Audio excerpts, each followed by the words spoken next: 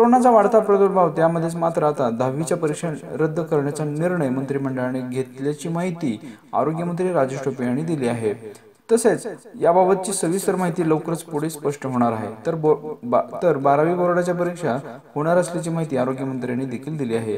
दहावी बोर्डाच्या परीक्षेसंदर्भात मंत्रिमंडळात चर्चा झाली. यावर्षी परीक्षा रद्द करून विद्यार्थ्यांना प्रमोट करण्यात यावे. तसेच या संदर्भात मंत्रिमंडळात एक मताने निर्णय झाला असल्याची माहिती राजेश टोपे यांनी दिली आहे.